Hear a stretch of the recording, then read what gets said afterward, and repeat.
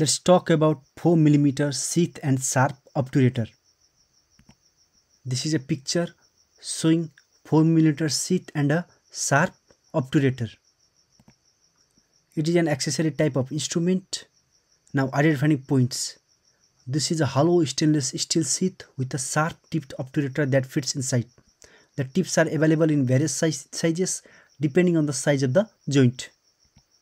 Use it creates a port into which the endoscope is introduced and exchanged through the or cannula. End of the topic.